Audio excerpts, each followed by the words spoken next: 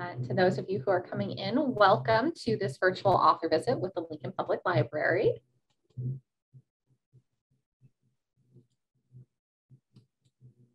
All right. So for those of you who have not joined us for a virtual author visit before, welcome. We are so excited you're joining us today. Um, just to give you all a little bit of a layout of how we're going to use all the tools in Zoom for today's conversation. Uh, we do have both the chat and the question and answer um, options available. Um, please use if there is something that you would like our fantastic author Dana and I to discuss today, a question you would like answered, please use the Q&A. That's the easiest place for us to keep track of it. You can drop your questions in at any point um, during the conversation. We will go through most of them at the end, but one or might get integrated in as we're talking. Um, you can use the chat if you want to give a shout out. If you're joining us from outside Lincoln, you want to share where you're at, you just want to um, do something that isn't a direct question, you're more than welcome to use the chat for that. But yeah, please do use that Q&A for any questions you'd like answered.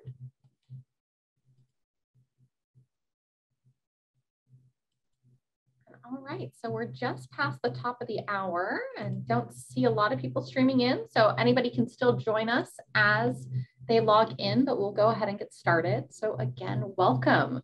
For those of you who don't know me, my name is Kathryn Hunt, and I am lucky enough to be the director of the Lincoln Public Library. And I'm very excited to welcome you all to the last virtual author visit for 2021. Our next one will be in 2022.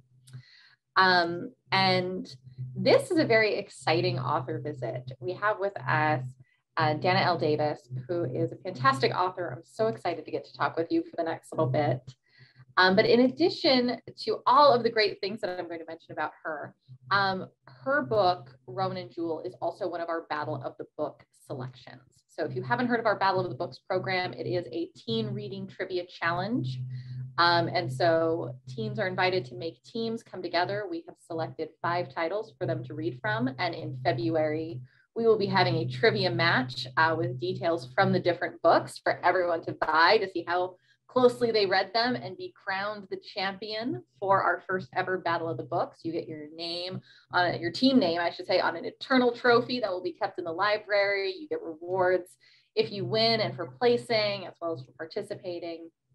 And we're so excited um, that Roman Jewel is one of our selections and to get to talk to Dana today about her great work. So you are a teen and you're not part of Battle of the Books, head to our website to sign up.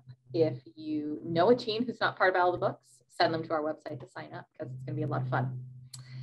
And so with that, we have with us Dana L. Davis, who is uh, a young adult author. Um, Roman and Jewel, which I mentioned, is in fact her third novel. Uh, she's also an accomplished actress uh, on screen, as well as doing voice acting and voice work.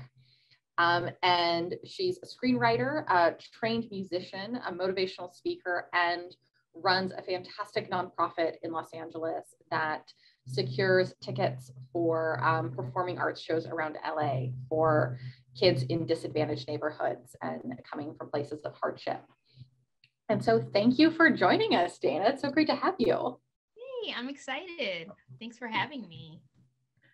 So I was wondering, um, you know, we'll talk across your body of work, but one of the titles we're very interested in, of course, with Battle Books is Roman and Jewel. And I was wondering whether you could give us a little bit of what that book is about for anyone who hasn't had a chance to read it. Sure. Okay. Uh, Roman and Jewel is about a, a young girl uh, who her name is Jersey James, and she is a phenom. She is an amazing singer, and she is um, about to make her Broadway deb- debut. She's auditioning for a Broadway show and she is being narrowed down to their last final choices. And sort of on the eve of them making their selection of who's going to be the lead in this new musical, which is sort of like a Hamilton style of uh, Romeo and Juliet, so like a retelling. Um, she finds out that the producers of the show want to hire someone who's very famous. And so she, even though she's the best for the job, gets cast as the understudy to this uh, famous singer. And so, um, as the understudy, she falls for the lead boy in the show. And that's basically sort of a brief overview of Roman and Jewel. That's fantastic. Um, and so this is coming out of a deep place of love for you as a novel because your background so much is in musical theater and Broadway and in stage performance, correct? Absolutely. Well, not Broadway, in my dream. in my dream for sure. But yeah, I started doing theater when I was seven years old.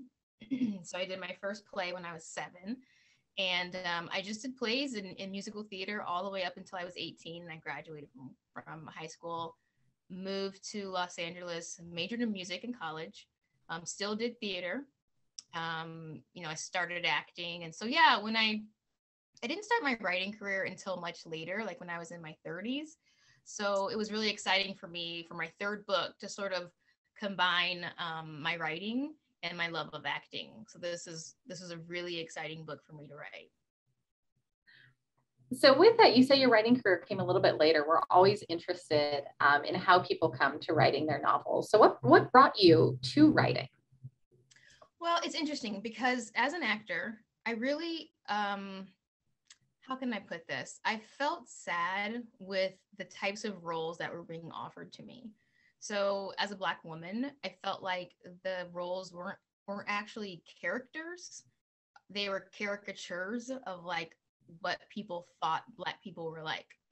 And um, I really felt like they were so stereotypical and so negative and just not at all representative of like who I was or who I am as a black woman, who my mom is, my aunts, my cousins. Like, I mean, I grew up like watching, you know, listening to Les Mis, and like my favorite actor was Colm Wilkinson, who like he starred in Les Mis, and I was such a theater nerd, and I had my little viola, and I was like walking to school, and I loved a cappella music and show choir, and I just felt like when they when they had a black woman, she was nothing that I recognized, and so I got tired of complaining about it. I was like, what can we do, like about the way that black women and black men just black people in general are represented in film and tv and books?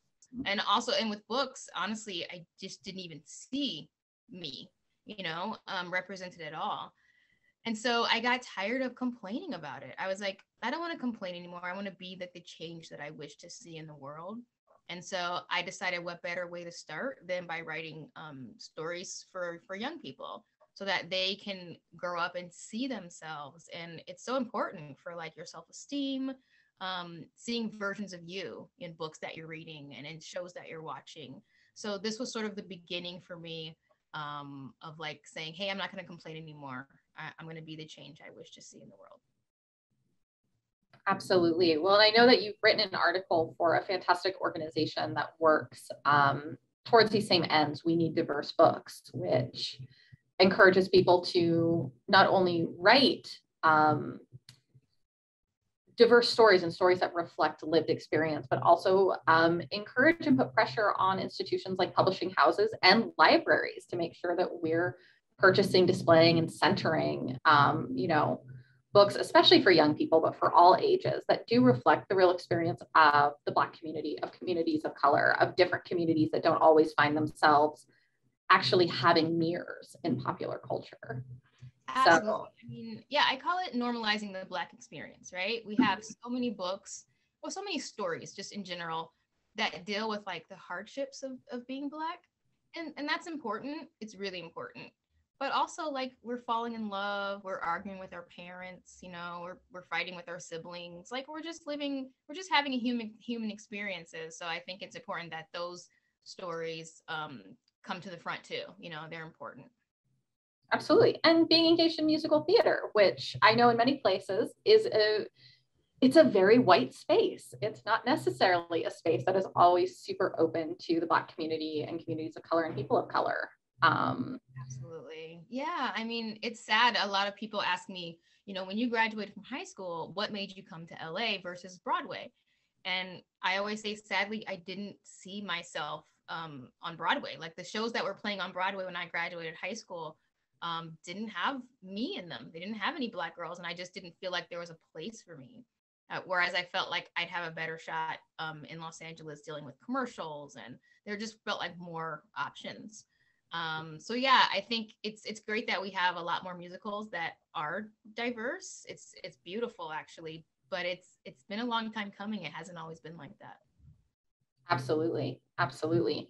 Well, and it was interesting because you mentioned um, when you were describing kind of the plot of Roman and Jewel, saying it's a little bit of a, a Hamilton style recreation of Romeo and Juliet at the center. And I thought that was interesting because one of the things that I find wonderful about Hamilton is not just that it is the casting of Black actors and actors of color, which is great and important, but I also feel like it really centralizes the artistic and musical traditions of the Black community into it. Um, yeah. so I, th- I think that's really great, especially with uh, Romeo and Juliet, which is Shakespeare, which is, you know, often so very much taught as this kind of stodgy, you know, British guy who wrote, and how do we continue to make that relevant and meaningful? Um, were you excited to work with the with the material of Shakespeare and kind of do this do this revamping of it and reimagining of it? Yeah, absolutely. I mean, just like I said before, like it's so it's so important to normalize the black experience right and we have these stories that are amazing like shakespeare stories and we want to keep these stories alive because they're so important um, because they're just so beautiful and we want to keep them alive but how can we do it in a way where we're inclusive right? And we're in, we're including um, um, more you know different types of people. And so it felt exciting for me because i i mean romeo and juliet is one of my favorite stories. And if somebody's doing romeo and juliet i'm gonna watch it read it whatever whatever it is. I think i've seen every like movie of romeo and juliet out there. Um so yeah i was excited to to um make it con- like to connect it to black culture and um and also to musical theater so yeah so what is it about Romeo and Juliet? When you said that, you know, you'll go and you'll see it, it's one of your favorites. What is it about that story that you really love? Well, I think it's like the insta love. I think there's something really magical about insta love because there's something I mean, life is beautiful, but life is also like very mundane, right? Like sometimes we feel like you're in, it's like Groundhog Day. I don't know if um, a lot, not a lot of kids have heard of that movie, but it's basically a movie where a guy wakes up and he's reliving the same day over and over and over in the, like the exact same way. And sometimes it feels it feels like that, um, the mundaneness of life. But then there's that love, you know, that overpowering love that you look at someone and it's just like all consuming to the point where I mean you do crazy things, right? These two kids did some crazy things. And so I think I think I'm really drawn to that because it takes you out of the mundane and brings that passion to like such a high level. Um, so I think that's why I've always been drawn to it. And that that yeah, as you mentioned, that insta love, um, this kind of immediate love and infatuation with each other as as a plot device is a significant part of Roman and Jewel, and that that harkens back from the Romeo and Juliet kind of material. Absolutely, yeah. I mean, I it's it's a it's so great because I have a I have a book coming out um next year. I can you hear that loud um that loud truck? Sorry about that. Um, let me know if you have any trouble hearing me. But um, I have a book coming out next year, and we wanted to make sure that the the friendship built before the love came in. So I worked really hard to have like 200 pages of like friendship, and then we got to the love stuff. I love that in Roman and Jewel, they fall in love right away. I love that moment in the bathroom where they're just sort of, or well, actually, it happens in the stairwell where there's just like such chemistry. I mean, it was so fun to write and just live in and live in that space. So it's very cool. well, that's one of the fun things about um, both YA and kind of romance novels is getting to work through these kind of tropes and these ideas. I mean, you know, 200 pages, oh, it's a fantastic slow burn romance, but in this, there's that insta love and getting to getting to play out and play with how characters are affected by those different models, which, yeah, a lot of times are more exaggerated than a, a lot of what our daily lives are. But that's part of the fun of literature is exactly escapism for sure. Yeah, absolutely. Um, so with that, you mentioned a little bit of this of coming into writing to kind of write stories to normalize the Black experience, to bring forward the characters that um, you wanted to see in literature and in the world. How different is it though to be writing a character versus, you know, your process that you do a lot of the time, which is bringing life to someone else's character? Is it how how was that shift as you moved into writing? You know, it's very it's very similar, I think. Um, living in that headspace. And you know what's funny is I'm I'm 43 years old. Um, but as an actor, I played a 16 year old until I was 33. and so it felt, and that's that's when I started writing was at the age of 33. So playing a, a teenager in so many movies and in so many TV shows and commercials, it felt just like such a simple thing to transition into writing teenagers. Mm-hmm. Um, I feel like the process is very is very similar, just getting into that mindset, and it really does take over you. Like you become so connected to these characters, so emotional. I mean, there's times that I'm writing where I'm, you know, I'm crying, I'm sobbing, I'm angry too. Um, but it's also it's it's exciting to be able to to escape into these characters too. Like who gets to do that? It's it's um it's a lot of fun. So absolutely. Do your characters surprise you a lot of the time as you're writing? Yeah, because for me it's a very like um I don't know, magical realism because I really feel like I'm in the story and I'm like looking around and seeing what would happen and how it would happen. And so I do feel like the characters like take a life of their own and, and guide me. I know that sounds like super out there. Instead of be guiding them, there comes a point where that happens. And even if I wanted to do like this, I can't because it just feels contrary to what the character would do or say. I always ask that question because you said it sounds crazy, but so often we do hear from authors that, yeah, that, you know, once you kind of really build out this fully fleshed character, there are things that they just wouldn't do the same way that a real person, if it said, oh, so and so went and did that, you'd be like, no, no, that, that's not, that's not what they would do. And that a lot of times the story evolves with that. Um, how much do you plan your plots kind of beforehand, or how much do you just kind of follow where your characters want to take you? Well, I kind of, you know, when I started as a writer, my first, uh, my first book was Tiffany Sly Lives Here Now. And so I really had no idea what I was doing. and so I was definitely sort of pantsing my way through that, where I was just sort of figuring it out as I went along. Um, who is Tiffany Sly? What's happening? But I think as I like by the time I did the voice in my head, I had a type of author who plots plots the story out. In fact, when I sold um, the voice in my head, I only sold it with the first three chapters and a detailed like outline of what happens in every in every chapter and um, now I'm, I'm I'm sort of branching off into screenwriting, and so I'm learning um, the beats of screenwriting. They call them they call them beats, um, and so I actually use that too in my writing as an author because I like the screenwriting beats. And so um, yeah, I'm very much a big plotter, and um, it takes me a while. I probably say like if I'm starting a new story, it takes me about three months um, to plot it out. That's that's fantastic. And screenwriting. So this is kind of coming full circle for you with being working with scripts and then writing and now you are writing scripts themselves. Yeah, I'm really excited about it. Um it's it's it's brand new. I have a screenwriting partner and we've been working on something for about mm, I'd say about a year. Um and so hopefully next year I'll have some exciting news to share. So it'll be cool we will we will keep an eye out for that because yeah, that's fantastic. Thank you. Fantastic. So one of the cool things, and we talked a little bit about this before we started the webinar, is um, with Roman and Jewel, you actually can listen to one of the songs that is talked about in the book.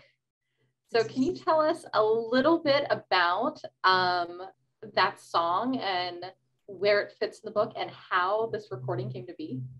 Sure, yeah. Um, so much fun. It's it's called I Think I Remember.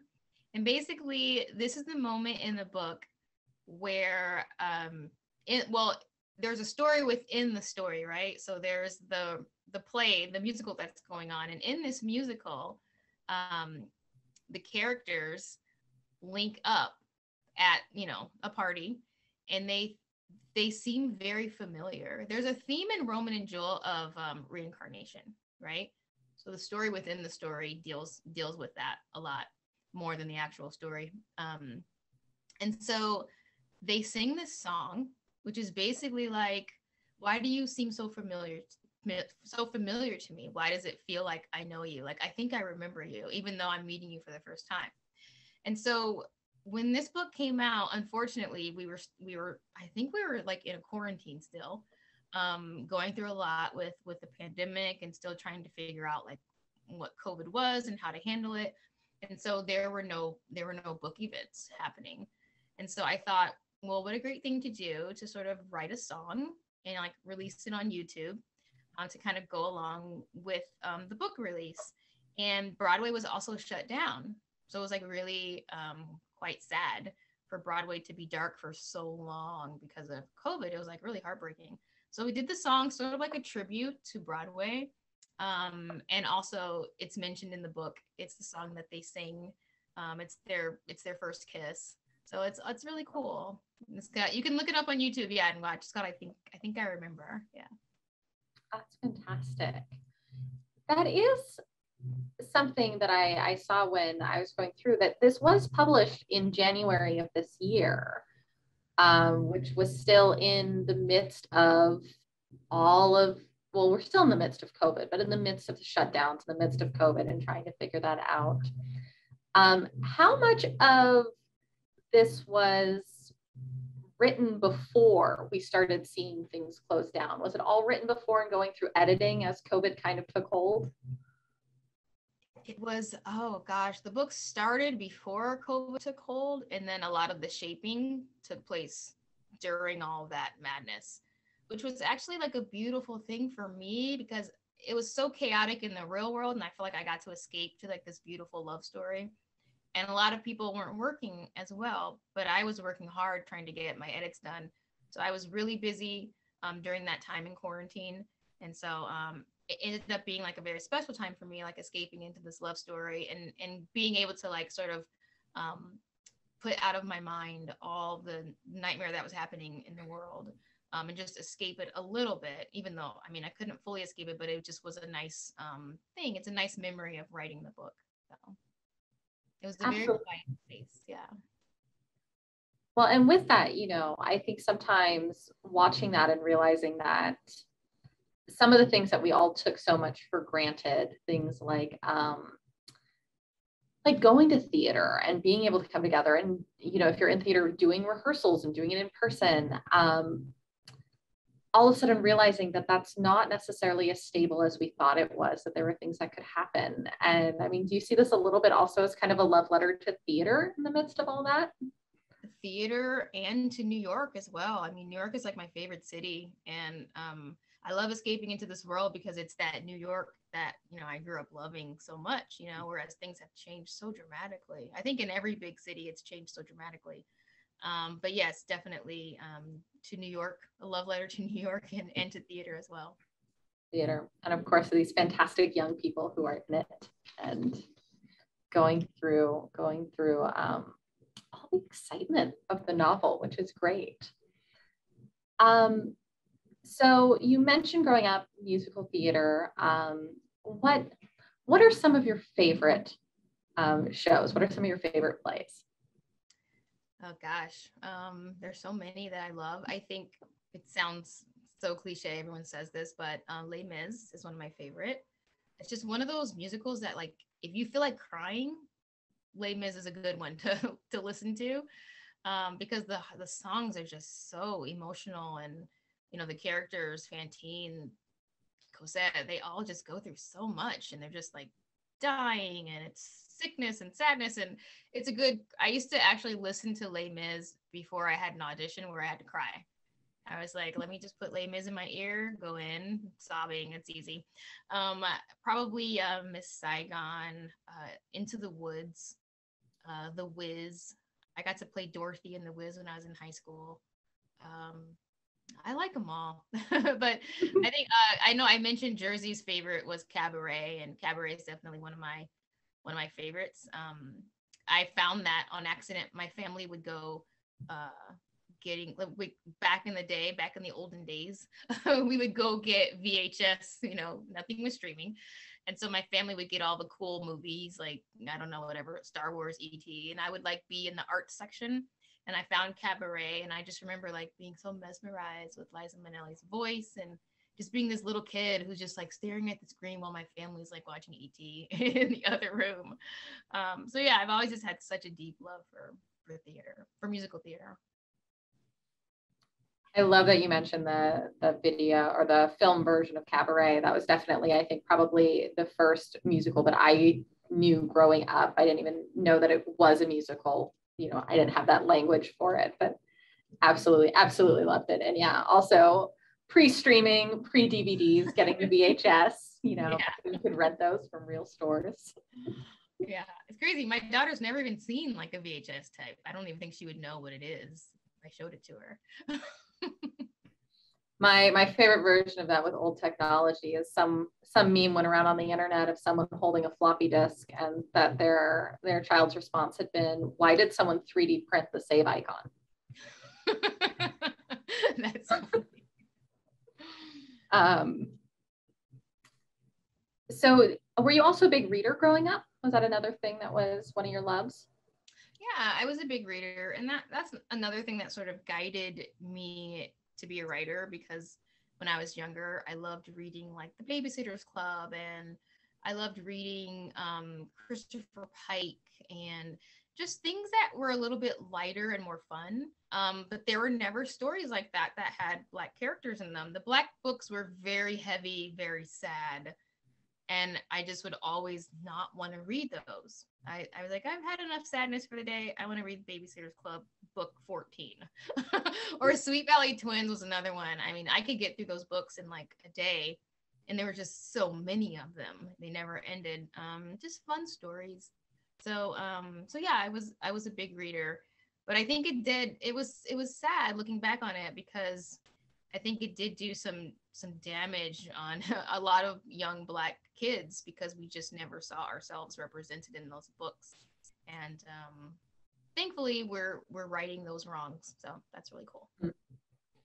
And absolutely. Yeah that those kind of very fun friendship focused light and yeah a little bit escapist which i think is is a great thing. I know sometimes lighter literature doesn't get as much respect or acknowledgement. But I think there's a lot to be said for the way that literature can bring and create joy, and that doesn't need to just echo the things that are difficult or just give us language for things that are difficult. That absolutely, yeah.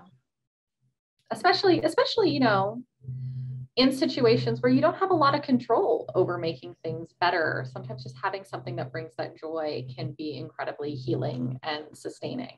That's so true. I love how you said that. Yeah. Um, so with that, you mentioned a lot of these that are big series. Are you thinking of doing a series at some point, or are you enjoying doing standalones? I am thinking of doing a series. In fact, that's the new the newest book that I'm working on. It's a series. Um, so I'm excited about that. I can't talk about it yet, but got like uh well, yeah, I'll just say it's gonna be a, a YA series. Very fun, very mysterious. Fantastic. Fantastic. That's great because series books are, especially with YA, I know we see this in the library. Um, we see that people get invested in a world and in characters and they want to keep coming back to them. They want to see what happens next. They build almost friendships with these characters. So that's an exciting next step with that. Thanks. Yeah, I'm very excited about it. So to keep an eye peeled for send send us the update when that Okay. Well, project's talkable. We'll, For sure. We'll be delighted to see that. Um, let me see what I've got. So you also run a nonprofit. You do everything. As I was reading the bio, I was just like, you do you do everything. I try. I try. Can you talk a little bit about your nonprofit and how it came to be and the kind of work that it does? Yeah, I think um, one of the things that made me really sad growing up um, when I would connect to people of my culture is they didn't know a lot about the fact that there were job opportunities um, in this field, like music, musical theater, theater. Um, they didn't know a whole lot about theater. I mean, it just was sort of like not even on their radar. And I thought, how sad. I mean, it's one thing if you dislike something and you're like, I, I've experienced it, I don't like it. But if you've never experienced it, I mean, we're missing these beautiful opportunities um, for these kids. Um, and so I wanted to present it to, I like the way you said, like children who are in disadvantaged communities who don't their parents are not going to take them to the Pantages Theater in Los Angeles. I mean, the tickets there is like $150. I mean, Hamilton, I love it so much, but like it cost me $400 to go see Hamilton. I had to go alone because no one else wanted to pay that much money. And so with this nonprofit, we don't just take them to the theater, but we also go into the classroom. Um, we teach them about the music. Uh, we teach them about the job opportunities within the show. We show them the orchestra pits, um, the crew, what you know, the lighting. There's so many things that they don't know about, and we like to present it to them to introduce it to them. Um, and so it's it's more than just seeing shows; it's understanding like the intricacies of how a show runs, um, and in an effort to inspire them and guide them as they go like on their journey and their path and choose careers and that sort of thing. Because the industry is is is on i wouldn't say completely void but there aren't a lot of um, black blacks in these positions in these um, in these orchestra pits in in these shows backstage because they just it was never exposed to them. They didn't even know it was an option yeah you can't you can't envision a future that includes things that you've never heard of or never seen. Exactly. Um, and I love your discussion of all of the people that the orchestra pit backstage because theater is it's a community that makes the lights turn on on the people who are actually on the stage. And i think that's great because not everyone imagines themselves in a leading role. But that doesn't mean that they are not that they don't love and wouldn't be incredible voices to have in the field. Yeah it's so it's such a beautiful thing so much talent. I mean one of my favorite scenes in in roman and jewel is when Jersey walks into the rehearsal room for the first time and you've got the choreographers there, you've got the director, the music director. Um, and it's just so that's such a cool moment when you do when you are a part of a production because everyone is so important and everyone is so gifted um, and it's just exciting. You're just in awe of everything around you and it's amazing to see how many people are there to to make this thing happen you know Absolutely. How many people are committed? Yeah. And everyone is so important. Like we couldn't do it without that, you know, particular, like without the costumes, the show's not going to happen. Mm. You know, things like that. Absolutely. Well, and on this line, we do have a question from Kendra, who's wondering what you would recommend to a young person who is thinking of exploring singing or performing well, you know, this was not a thing when I was growing up, but now they have so many outlets with um, with social media like TikTok and Instagram and YouTube. I would say definitely start, you know, start a YouTube channel, start a TikTok channel if you're old enough. Of course, I don't know the. My daughter's 10 and she's always like, Mom, can I do YouTube? And I'm like, no, no way. But if you're old enough, I think it's a really amazing way to connect to other people too um, and just you know start getting used to performing and singing. And I mean, isn't that how Justin Bieber got discovered? I think he was like on YouTube singing or something like that. I don't know. Um, it wouldn't surprise me. I mean, I know if it's not Justin Bieber, I know there's plenty of people who have gotten their start off of social media or Bandcamp or these kind of low barrier, um, direct to community kind of creator platforms. Right, absolutely. And I think too, like there's so many local theaters that you can you can join um, there's so many classes you can take my daughter's 10 and she takes a composition class so she's learning how to write music um, learning how to to edit. I mean just looking online there's just like a plethora of like classes where you can sort of start learning. Doesn't matter your age. Doesn't even actually matter now where you're at because you can take the classes online. So i would say just like do some research and um, you know take one small step. I like that. I like that idea of one small step because i know sometimes it feels like you've got to get from beginning to mastery overnight. It does feel like that. It really does. Um, i suppose in a similar vein you know so you've been writing for a number of years now. This is your third um, novel. Do you have any advice for the writers in the group who maybe aren't going on stage but you know do have stories to tell? Yeah i would say um, there's all sorts of things too that you can get involved with um, there's writing retreats Um, and again, some of these retreats, they're online, so you could join them. Um, you could start your own writing retreat, you know, where you're getting together with friends and you're just sort of doing writing prompts and writing about what's going on.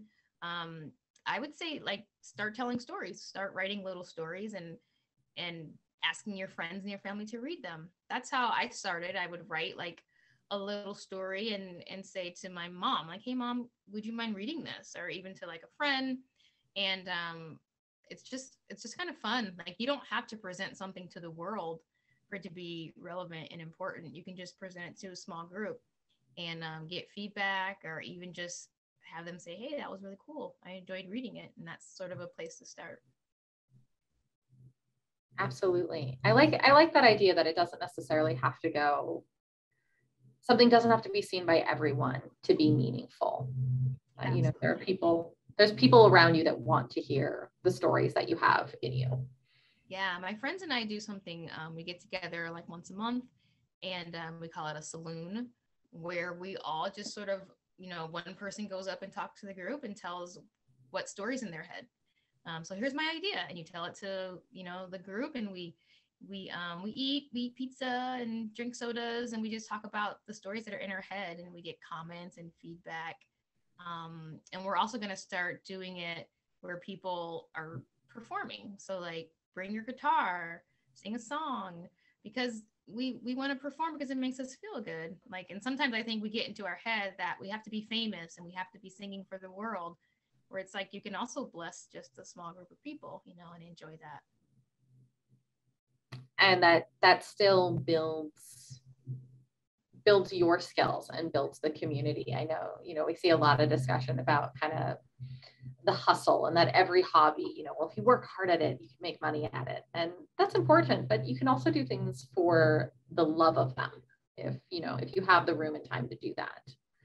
Absolutely. Um, just for like your your spirit, like it just feels good. Yeah, absolutely. I love that. I love the saloon. That's that is fantastic. Yeah, it's really cool. Has that been how long has that been going on? Oh, I, I, it's a, it's, it's held by a friend of mine. So they started doing it years ago, and I, I joined in maybe a year and a half ago. But I think they've been doing it for about five years. Brilliant. That's mm-hmm. a brilliant model that you know anybody, anybody could do. Absolutely. Start with a friend group. So I suppose let me see where we've got in our question and answer. I know one of my questions, as I mentioned, Roman and Jewel is going to be part of our trivia contest. I was wondering if there is a question about that book that you think would be a great trivia question. Oh gosh. if there's a D or maybe this is better to say, is there a detail about the book that you really love that you're not sure that everybody sees? um, I'd have to think about that one for a little bit. Um, so many tiny things. We just talked about like what's what was Jersey's favorite.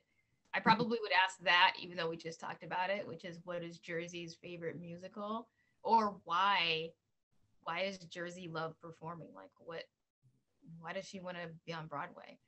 Um, because sometimes I think there's like it feels like a narcissistic element to like performers like why do you want to be on stage? Because you want people to cheer for you? Um but it, it's deeper than that and i think we do get into it in um in roman and jewel so that might be a question like why does jersey like performing? I think that's a fantastic one and i think the fact that we've discussed it a little bit is is not it's not a bad idea it means any of our battle of the book contestants who've joined us today have a little bit of a a little bit of an edge yeah. so let's see. I do see that in our audience, we do have one hand up, John. So John, I'm going to go ahead and turn on your mic so you can ask uh, your question. So John, if you want to unmute, you can ask your question whenever you're ready. Okay, there was a conversation earlier, and you, uh, Dana was talking about a, a YouTube video, uh, and I I didn't get the title. Oh, hi, John. Um, I think I remember. That's the name of this. That's the name of the song. So if you Googled or if you went on YouTube and typed in, I think I remember space Roman and Jewel, it would come up. And one of the things we can do as well, uh, this um, talk is being recorded. We'll go ahead and make sure that we include a link to that when we post the recording of this. We can also throw um, a link to that on our Facebook and social media, the standard places where you guys might have found the link for this event so that you guys can all go and see that without having to search for it. Good.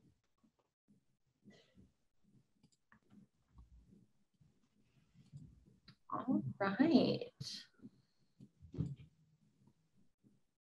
So let's see. If you've got any other questions uh, from our audience, please go ahead and drop them in the Q&A. We'll be delighted to chit chat about them. Otherwise, Dana, I know you've mentioned a couple of the things that you've got in the works. You've got a screenplay project. You've got another book project that we can't talk about. What else is on the horizon for you? Um, I just was able to uh, share that I have a two book deal with um, Skyscape, which is Amazon Publishing. So I have a book coming out in fall of 2022 called um, Somebody That I Used to Know. And it's about a young virtuoso um, violinist who is uh, applying to attend Juilliard School of Music. And on the eve of her like big audition prep, all the things that she's doing to audition for Juilliard, her ex best friend shows back up, and her ex best friend just so happens to be the most famous recording artist in the world. And so um, that's the story. Somebody that I used to know. It'll be out next fall. Fantastic. Now, this is another topic that's near and dear to your heart because you're trained as a violinist yourself, correct? A violist. Oh, violist. Not nearly as cool as the violinist, but yeah. Yeah, I started playing viola when I was 10, maybe maybe younger. No, eight, and um, played all through college. Oh, it's fantastic. Now, viola is a beautiful instrument. I know it doesn't get quite as much uh, popular notice as the violin, but um, yeah, yeah, it's beautiful, beautiful piece. Well, that's exciting. We'll keep an eye out for that. And you said it's a two book deal. So is there a sequel to that one planned or is it a separate um separate yeah, title? Yeah, it's a separate book that um, I just started working on. I have so many, I think I'm simultaneously working on like three or four books right now. So trying to manage it all. I was going to say to that point, uh, Sharon just dropped in a um, question asking with everything that you're involved in, with how diverse all of your interests and activities are, how do you keep it organized? What secrets do you have for all of us on managing that many different creative projects? Oh, well, um, I would say my secrets are like people that email me and remind me about things because I, I forget. Sometimes I get like emails from my agent that'll say, "Hey Dana, it's 12. Um, your audition's due at 12. Did you send it already?" And I'm like, "Oh shoot, I'm sending it in five minutes." And I'll like set up my studio really quickly. Um, as far as writing, um, just writing so much all the time, like waiting till my kid goes to bed and staying up till two o'clock in the morning, waking up at five just to write um, when everyone else is watching movies, sadly, I'm going to be like on my computer writing. Um, so yeah, I think uh, it's hard to manage it all. And I've just got some awesome people who are like chiming in and telling me when things are due. And so that that's very helpful. Um, I do my best. I, I appreciate your candor in mentioning things like writing when everyone else is watching movies because you know this work doesn't come from anywhere. It does it does take your time and your energy and your thoughts. And you know you are you are a mom. You are engaged still in your acting work and in all these projects. And i think um, it's a big testament to your belief in these stories and your love for having these stories in the world that you are managing so many projects all at once to bring these to bring these forward for the next generation it's so important to me. I mean, I got so many amazing emails when Tiffany Sly came out from because Tiffany Sly is about anxiety. You know, it's a young teenager who's dealing with the with the fact that her world is sort of broken her heart. And as a result, she no longer, you know how like as a teenager you feel invincible. You're like, everything's going my way. And so, and then something happens where it doesn't go her way, and she realizes she's not in charge, and, and something bad could happen at any moment. And so she has this anxiety. Um, and of course, I tell it with a funny voice because we have to keep living, even though we have anxiety, we have depression. So in that book, I'm normalizing mental illness. And I got so many wonderful emails from so many kids who were just like, thank you. I didn't even know what I had, but I, I, I guess it's anxiety. Thank you so much. Um, and that just warms my heart because again, like we have these, and it doesn't even matter about color, black, white. Um, but I do think that, you know, with people of color, we um, haven't been able to see those characters. And so it means so much to me. And, you know, a young virtuoso violinist like Black Girl, that's a thing. so I'm glad that I get to write about it. Um, a, a Black Girl on Broadway, that's a thing too. Um, and and with the voice in my head i loved telling the story of like twins identical twins and just like what it would be like to have a built-in best friend you know and um so yeah i i just love it i love telling stories and even if even if one person is like hey this story means something to me that that means something to me and that's really important absolutely have you seen a, re- um, a resurgence in the tiffany sly book with covid and with how much how many people are dealing with anxiety um, in kind of the new the new world that we're in at the moment? Absolutely, 100%. Yes. I wish I had a longer answer to that, except just yes. Um, and again, it's you know a lot of people who have anxiety. It's something that you you live with. You know, it's a living with anxiety, and it's not something that goes away. You know, you have to find a mm-hmm. way to make peace with the fact that your mind now is like, oh gosh, this could happen and then that could happen and then that could happen. And it's just like, how do we stop it? And then, you know, feeling bad about the way you're feeling too. And I love that my book helps people to not feel bad about it. That it's perfectly normal and also quite hilarious. absolutely. Absolutely. I think that's so important. Uh, we do have a question from an anonymous attendee. Um, going back to Roman and Jewel, they're wondering what the main message um, or thought that you'd like readers to come away with after reading it. That's such a beautiful question. Um, so many things I want people to come away from with that, but I think I think maybe the main thing is sometimes we have these dreams, right? And we want to be the best, or we want to get the part, we want to get the lead, and we think because we're not the best, because we didn't win homecoming queen, because we were just like the runner up, or we didn't get the the part, the thing that we wanted, we think that our experience is not meaningful. So I want people to walk away with like your experience is meaning, meaningful. It's it's it's authentic. It's special, and um, like where you are is exactly where you're supposed to be.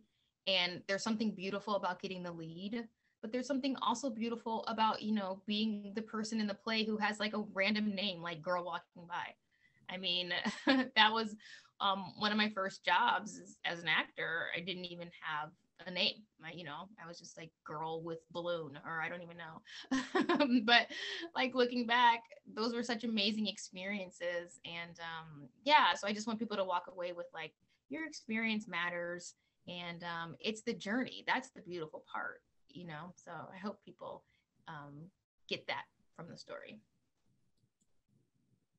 I think that's such a beautiful thought, especially for a YA book where, you know, so often when we're teenagers, I remember it feeling so often that the stakes were so high and it was all or nothing. It was either on top of the world or, you know, it was a waste of time. And most of us are going to spend most of our lives not winning the top prize at everything and our lives are are still as you mentioned it's rich and beautiful journeys and experiences. And you know not not everybody can get the lead in every in every part and every time that you try out. And that's that that's not a flaw. That's that's a feature. That's a feature of life. Absolutely. And then also to keep trying you know that's the thing that drives us it's like you know i didn't get it this time but i'm gonna i'm gonna keep trying there's something beautiful yeah. about not not winning. I just watched uh, King Richard. I don't know if you've seen it, the story of Venus. Yeah. And there's this heartbreaking moment where she loses this big, you know, this big match, but it, it, it ended up being something actually absolutely amazing and beautiful. Um, and so yeah, sometimes losing it isn't losing. It's just a part of your story, you know? It's how you grow. It's how you learn. Absolutely. Yeah. Yeah, and then come back. Well, wonderful. Well, I'm going to do a last call to our attendees for any questions. Give everybody a few minutes if they're typing something out.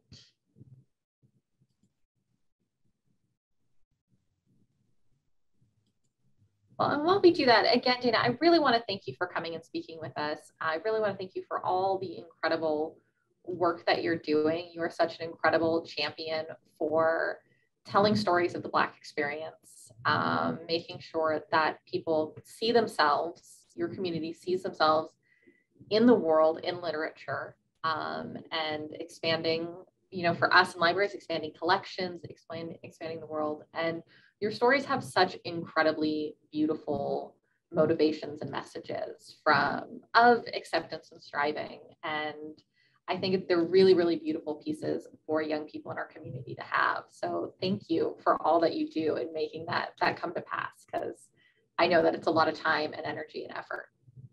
Oh, thank you. I really appreciate that. It means so much to me. And thanks for having me. So this is this has been fun. Absolutely. And so to all of our attendees, you can of course pick up Dana's books here at the Lincoln Public Library.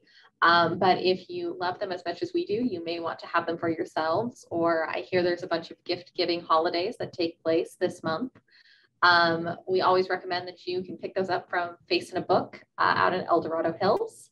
Uh, or any independent bookstore, bookshop.org is a great way to find your local independent bookstores. It's as easy as Amazon, but supports booksellers in our community who make things like this happen. Um, and yeah, thank you again, Dana. We really appreciate it. I hope you have a great rest of your night. Thank you. Bye everyone.